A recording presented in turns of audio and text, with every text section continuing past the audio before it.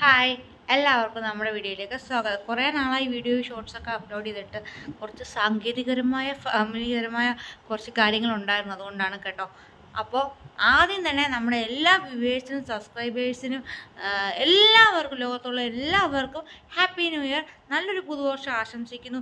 ഈ വർഷത്തിൽ എന്തെങ്കിലും പോരായ്മകൾ ഉണ്ടെങ്കിൽ അടുത്ത വർഷം നിങ്ങൾക്ക് ആ പോരായ്മകളൊക്കെ നികത്തി നല്ല എല്ലാ നന്മകളും ഉണ്ടാവട്ടെ എന്ന് ആശംസിക്കുന്നു. അതുപോലെ ഈ വർഷം നല്ല സന്തോഷവും നല്ല ഐശ്വര്യവും ഉണ്ടായവരാണെങ്കിൽ ആ ഐശ്വര്യവും സന്തോഷവും വരും വർഷങ്ങളിലും നല്ല അതേ രീതിക്ക് നിങ്ങൾ ആഗ്രഹിക്കുന്ന രീതിക്ക് നിലനിന്ന് പോകട്ടെ എന്ന് ആശംസിക്കുന്നു. അപ്പോൾ നമുക്ക് നമ്മുടെ ഈ വർഷത്തെ ഒന്ന് അവലോകനം ചെയ്ത് നോക്കാം എന്റെ ജീവിതത്തിൽ എങ്ങനെയായിരുന്നു ഈ വർഷം എന്ന് പറഞ്ഞാൽ സാധാരണ ഒരു നോർമൽ ഇയർ എന്താ വലിയ സന്തോഷങ്ങളും ഇല്ല. സാധാ നോർമൽ ഒരു മനുഷ്യന്റെ എങ്ങനെയാണോ അതുപോലെ എന്റെ ഡിസംബർ വരെ പൊക്കോണ്ടിരുന്നത് വേണമെങ്കിൽ പറയാം കേട്ടോ. പിന്നെ എന്താ കൊറോണയ്ക്ക് ശേഷം സ്കൂൾ തുറന്നുകൊണ്ട് ജൂൺ ആയപ്പം നല്ലൊരു സന്തോഷം ഉണ്ടായിരുന്നു. പിന്നെ ഈ മാസം ഏപ്രിൽ ലാസ്റ്റ് ഫസ്റ്റ് ലാസ്റ്റ് അല്ല ഫസ്റ്റിൽ ഒരു അഞ്ചാറ് വർഷം എന്റെ കൂടെ ഉണ്ടായിരുന്ന എന്റെ ഒരു ബോഡി പാർട്ടായി തന്നെ മാറിയിരുന്ന എന്റെ കയ്യിലെ സ്റ്റീൽ റിമൂവ് ചെയ്തു. അങ്ങനെ ആ ഒരു മാസം ഞാൻ കംപ്ലീറ്റ് റെസ്റ്റ് ആയിരുന്നു. വീണ്ടും ഒരു സർജറിയെ ഞാൻ ഫേസ് ചെയ്തു. ആ സർജറിയെ ഫേസ് ചെയ്യണം എന്തെങ്കിലും ലൈഫിൽ ഫേസ് ചെയ്യണം എന്ന് കരുതി തന്നെ മുന്നോട്ട് വന്നിട്ട് ഞാൻ ആ സർജറിയെ ഇതിന് മുന്നുള്ള വർഷങ്ങളിൽ ഏതെങ്കിലും വർഷം ഞാൻ ഫേസ് ചെയ്യേണ്ടിയിരുന്നതാണ്. പക്ഷേ എന്താ പറയുക ഞാൻ അതിനെ നീട്ടി നീട്ടി കൊണ്ടുവന്ന ഈ രണ്ടായിരത്തി ഇരുപത്തിരണ്ടിൽ ഞാൻ അതിനെ ഫേസ് ചെയ്തു അല്ല എല്ലാം അതെല്ലാം അലഹമില്ല അവ സക്സസ് ആക്കി തന്നു. സക്സസ് ആക്കി തന്നു ജൂണി മക്കൾക്ക് സ്കൂൾ തുറന്നപ്പോഴത്തേക്ക് കയ്യിലെല്ലാം ഓക്കെ ആയി. എനിക്ക് എന്താ നല്ല പെർഫെക്റ്റ് ആയിട്ട് തന്നെ എന്റെ വണ്ടി ഓടിക്കാൻ പറ്റി. അങ്ങനെ ഞാൻ ഒരുപാട് ഹാപ്പി ആയിരുന്നു. പിന്നെ എന്താ പിന്നെ പിന്നെ അമ്മായിക്ക് എന്റെ കൈയൊക്കെ ഓക്കെ വന്നപ്പോഴത്തേക്ക് എന്റെ റെസ്റ്റ് ടൈമൊക്കെ കഴിയുമ്പോഴത്തേക്ക് അമ്മായിക്ക് റെസ്റ്റായി റെസ്റ്റ് ആയെന്ന് വെച്ചാൽ അമ്മായി കൈയും ശരീരമൊക്കെ വേദനയായി.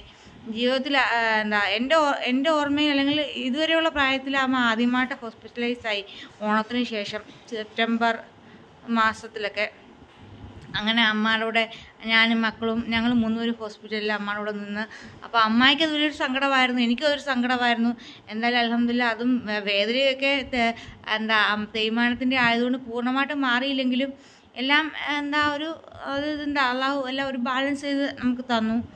പിന്നെ അങ്ങനെ വലിയ പിന്നെ പ്രശ്നങ്ങളില്ലാതെ നമ്മളിങ്ങനെ പ്രശ്നങ്ങളില്ലാതെ സാധാരണ ഒരു മനുഷ്യരുടെ ജീവിതം എങ്ങനെയാണ് അതുപോലെ പൊയ്ക്കൊണ്ടിരുന്നു അപ്പോഴാണ് അപ്രത്യക്ഷമായിട്ട് ഇക്ക പുതിയൊരു വണ്ടി എടുത്തത്. പുതിയൊരു വണ്ടി എടുക്കണമെന്നൊക്കെ ഭയങ്കരമായ ആഗ്രഹം ഉണ്ടായിരുന്ന ഞാനെന്ന് പറഞ്ഞാൽ ഭയങ്കര എന്താ അറ്റാച്ച്ഡ് ആവുന്ന ആൾക്കാരോട് അല്ലെ നമ്മൾ ഉപയോഗിച്ചിട്ടുള്ള സാധനങ്ങളോട് ഭയങ്കര അറ്റാച്ച്ഡാണ് അപ്പോൾ പെട്ടെന്ന് ആൾക്ക് അങ്ങനെ ആദ്യം എന്നോട് പറഞ്ഞപ്പോൾ ഞാൻ അതിനെ നിരുത്സാഹപ്പെടുത്തി വേണ്ട ഇത് മതി അല്ലെങ്കിൽ ഇനിയിപ്പോൾ എനിക്ക് വണ്ടി എടുക്കാം എന്നൊക്കെ ആയപ്പോൾ ഇക്കായ്ക്ക് ലോങ് ഡ്രൈവ് ഒക്കെ ചെയ്യുന്നതുകൊണ്ട് അത് ബുദ്ധിമുട്ടായിട്ട് ഇക്ക സർപ്രൈസ് ആയിട്ട് വണ്ടി ഓർഡർ ചെയ്ത് അങ്ങനെ ഞാൻ ഇടയ്ക്ക് അങ്ങനെ നമുക്ക് ഡിസംബർ ആദ്യത്തിൽ നമുക്ക് അങ്ങനെ വലിയൊരു സന്തോഷം ഉണ്ടായി.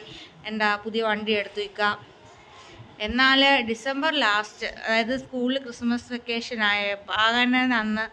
അപ്രതീക്ഷിതമായിട്ടെന്ന് പറഞ്ഞാൽ ഒരു അഞ്ച് വർഷം വരെ ഒരു മുമ്പുണ്ടായി ഞാൻ ഫേസ് ചെയ്തൊരു സംഭവമായിരുന്നു. പക്ഷേ അപ്രതീക്ഷമായിട്ട് എന്റെ മോനുക്ക് വയ്യാതെ വന്നു സ്കൂളിൽ വെച്ച്. ഒരിക്കലും അങ്ങനൊരു ഇത് ഒരു മാളാവിനും ഇത് ചെയ്യാൻ പറ്റത്തില്ല. പ്രത്യേകിച്ച് ഞാൻ അന്ന് ഞാനും കൂടെ അത്രയും മോളും അതുപോലെ തന്നെയാണ്. എന്നാലും കുഞ്ഞോട് കുഞ്ഞായതുകൊണ്ടും കുറച്ച് ക്ലോസ് ആയിട്ട് നിൽക്കുന്നതുകൊണ്ടും ഒക്കെ എനിക്ക് ഭയങ്കര മോളും അതുപോലെ തന്നെയാണ്. ഒരുപടി മുമ്പിലായിരുന്നേ ഉള്ളൂ കുറവില്ല. മോ പറയുമ്പോൾ നമുക്കൊരു വ്യത്യാസം ഉണ്ടെന്ന് ഫീൽ ചെയ്തത് ആർക്കും രണ്ടുപേരും ഒരുപോലെ തന്നെയാണ്. എന്നാലും അവന് അങ്ങനെ സ്കൂളിൽ വെച്ച് കുഞ്ഞ് ചൂട് കൂടി കുഞ്ഞിന് ഇതൊക്കെ വന്നു. അങ്ങനെ പെട്ടെന്ന് സ്കൂളിൽ നിന്ന് അവർ ഹോസ്പിറ്റലൈസ് ചെയ്ത്. ഞാൻ അന്ന് ഞങ്ങൾ ക്രിസ്മസ് മൂന്നാറിൽ ഓണത്തിന് പോയായിരുന്നു. ക്രിസ്മസ് വെക്കേഷനൊക്കെ കൊണ്ടുപോകാം. ഇപ്പോൾ സ്കൂളിൽ ക്രിസ്മസ് സെലിബ്രേഷൻ കഴിഞ്ഞിട്ട് ഇരുപത്തി മൂന്നാം തീയതി കഴിഞ്ഞിട്ട് അന്ന് വൈകിട്ട് ഒക്കെ വന്ന് ഞങ്ങളെ കൊണ്ടുപോകാം. അപ്പോൾ അത്രയും സന്തോഷത്തിന്റെ അതൊക്കെയാണ് എന്നെ ഒന്നുകൂടെ കൂടുതൽ സങ്കടം. അവന് മോനാകെ സന്തോഷത്തിന്റെ എക്സ്ട്രീം ലെവലാകും പോയി. ക്രിസ്മസ് സെലിബ്രേഷൻ എക്സാം കഴിഞ്ഞ് ക്രിസ്മസ് സെലിബ്രേഷൻ ഫ്രണ്ട്സിന്റെ ഡാൻസ് ഫ്രണ്ട് സാന്താക്ലോസ് ആയിട്ട് വരുന്നു.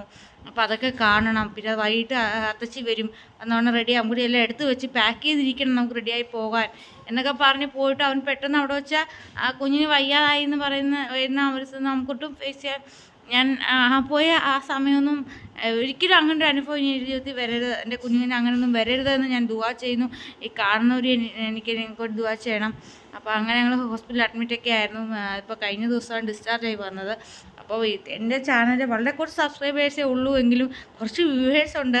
സബ്സ്ക്രൈബ് ചെയ്യാതെ തന്നെ കാണുന്നത് അപ്പോൾ എല്ലാവരും ഉള്ളപ്പം അവർക്ക് വേണ്ടി ഒരാ ഒരു സബ്സ്ക്രൈബറേ ഉള്ളെങ്കിൽ തന്നെ അപ്പോൾ അത് നമുക്ക് അവർക്ക് വേണ്ടി ഒരു നല്ലൊരു പുതുവർഷം ആശംസിക്കുക എന്നതും അവർക്കൊരു നന്മ വരിക അത് ആഗ്രഹിക്കുക അതുപോലെ ഞാൻ അവർക്ക് വേണ്ടി ദുവാ ചെയ്യുന്ന പോലെ തന്നെ അവർ എനിക്ക് വേണ്ടി ദുവാ ചെയ്യുന്നു എന്ന് ഞാൻ വിശ്വസിക്കുന്നു. അങ്ങനെ നമ്മൾ അതൊരിക്കും നമ്മൾ അവർക്ക് വേണ്ടി അത് ആശംസിക്കേണ്ടത് നമ്മുടെ ഒരു കടമയാണല്ലോ. ഇപ്പോൾ ഈ ന്യൂ ഇയറിന് ഈ സമയത്ത് ഞങ്ങൾ മൂന്നാർ ഇരിക്കേണ്ടതാണ്. മൂന്നാർ ഇരുന്നില്ലെങ്കിലും സാരമില്ല. അത് എപ്പോൾ വേണേലും നമുക്ക് പോവാം. എന്റെ കു എന്റെ കുഞ്ഞുങ്ങൾ നല്ല ആരോഗ്യത്തോടെ ഇരുന്നാൽ മതി. ഇന്നിപ്പം ചങ്കുറിന് പല്ലിന് വീണ്ടും ഇൻഫെക്ഷൻ ആയിരുന്നു. മുപ്പത്തൊന്നാം തീയതി ഞങ്ങൾ ഈ വർഷം തന്നെ ഒരു പല്ലൂടെ അവന്റെ എടുത്ത് കള എടുത്തു. എടുത്തിട്ട് എന്റെ ഇൻഫെക്ഷൻ വരുന്ന പല്ലൂടെ ഞങ്ങൾ എടുത്തു. ഈ വർഷം മൊത്തം ആദ്യത്തെ സ്കൂൾ തുറക്കുന്ന തൊട്ട് മൊത്തം അവന്റെ പല്ലിൽ ട്രീറ്റ്മെന്റ് ആയിരുന്നു. ഇടയ്ക്ക് കുറച്ച് നാൾ കുഴപ്പമില്ല അതൊന്ന് വീണ്ടും ഇൻഫെക്ഷൻ ആയിട്ട് വരിക. അപ്പോൾ നമ്മൾ ഇടയ്ക്ക് വീഡിയോ ഒന്ന് കട്ട് ചെയ്തു കേട്ടോ. ടാങ്ക് നിറഞ്ഞു പോയിട്ടേ. മോൾ അമ്മയെ വിളിച്ചു പറഞ്ഞ സൗണ്ട് ഇടയ്ക്ക് ഒന്ന് ഭയങ്കര ലൗഡായിട്ട് വന്നേ. അപ്പോൾ അങ്ങനെ എന്താ പറഞ്ഞുകൊണ്ടിരുന്ന ആ ഒരു ഫ്ലോ പോയി. ഇടയ്ക്ക് മോൾ അവൾ മോട്ടറിന്റെ കാര്യം പറയാൻ വേണ്ടിയൊക്കെ വന്നപ്പോൾ വീഡിയോ കട്ട് ചെയ്തു. പിന്നെ വീണ്ടും അത് സംരംഭം ഉണ്ടാക്കരുത് എന്ന് പറയാൻ പോയപ്പോൾ വീണ്ടും ഇതായി. അപ്പോൾ അങ്ങനെ എല്ലാം ആയി. അങ്ങനെ ഇപ്പോൾ പല്ല് അതൊക്കെ എടുത്ത് ഇപ്പോൾ പല്ല് വേദന കുറവുണ്ട്. ഇൻഫെക്ഷനൊക്കെ കുറവുണ്ട്. അപ്പോൾ ഇനി ചൂട് വരാനുള്ള സാഹചര്യം നമ്മൾ മാക്സിമം ഒഴിവാക്കുക എന്നതാണ് ശ്രമിക്കുന്നത്. അപ്പോൾ അങ്ങനെയാണ് അത് ചെയ്തത്. പിന്നെന്താ അതൊക്കെ ഇപ്പോഴത്തെ വിശേഷങ്ങൾ പിന്നെ എന്റെ കുറച്ച് വീഡിയോസ് ഞാൻ ഈ വർഷം അപ്ലോഡ് ചെയ്യാൻ വെച്ചിരുന്നതാണ്. പക്ഷെ അത് എന്തൊക്കെയോ സാങ്കേതികപരമായ കാരണങ്ങൾ കൊണ്ടോ എന്തൊക്കെയോ തടസ്സങ്ങൾ വന്നു. അതുകൊണ്ട് ഞാൻ ആ വീഡിയോക്ക് നെക്സ്റ്റ് ഇയറിൽ കുറച്ച് കുറച്ചായിട്ട് അപ്ലോഡ് ചെയ്യാം. എന്റെ ചാനൽ സബ്സ്ക്രൈബ് ചെയ്ത് കാണുന്നവരുണ്ടെങ്കിൽ ഞങ്ങളുടെ ചാനൽ മുൻപിറകിലോട്ടുള്ള വീഡിയോസൊക്കെ കണ്ടു നോക്കി ഇഷ്ടപ്പെടുവാണെങ്കിൽ ചാനൽ സബ്സ്ക്രൈബ് ചെയ്യാൻ ഇഷ്ടപ്പെടുവാണെങ്കിൽ ഞങ്ങളുടെ ചാനൽ സബ്സ്ക്രൈബ് ചെയ്യണം. വീഡിയോ കണ്ട് ഇഷ്ടപ്പെടുവാണെങ്കിൽ ലൈക്ക് ചെയ്യണം. പിന്നെന്താ പറയാനുള്ളത് എല്ലാവർക്കും പിന്നെ ഒത്തിരി ഒത്തിരി ഹാപ്പി ന്യൂ ഇയർ എല്ലാവർക്കും നല്ല സന്തോഷമുള്ള ഒരു പുതുവർഷം ആശംസിക്കുന്നു. എന്താണോ എല്ലാവരും ആഗ്രഹിക്കുന്നത്? അത് നമുക്ക് നമ്മുടെ സൃഷ്ടിതാവ് നമുക്ക് അത് എന്താണോ നന്മയായി നമുക്ക് തരാൻ ആഗ്രഹിക്കുക അതുപോലെ എല്ലാവർക്കും നല്ലത് വരട്ടെ എന്ന് ഞാൻ ആശംസിക്കുന്നു. അപ്പോൾ എന്താ ഞാൻ എല്ലാവർക്കും വേണ്ടി ദുവാ ചെയ്യുന്നു. എല്ലാവരും ഞങ്ങൾക്കും വേണ്ടി ദുവാ ചെയ്യുന്നു എന്ന് വിചാരിക്കുന്നു. അപ്പോൾ എല്ലാവർക്കും വീണ്ടും വീണ്ടും happy new year. Thanks for watching